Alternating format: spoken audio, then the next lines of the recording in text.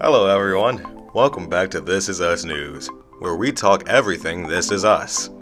And today we're going to talk about Ron Cephas Jones, better known as William from This Is Us. Jones was born in New Jersey on January 8, 1957, one of the senior Hollywood movie and television stars. Ron has been acting for over two and a half decades, but it wasn't until 2016 that this star found a memorable character. Jones portrayed Romero in USA Network's blockbuster hit, Mr. Robot, in nine episodes. He also stars as Bobby Fish in the Netflix series Luke Cage.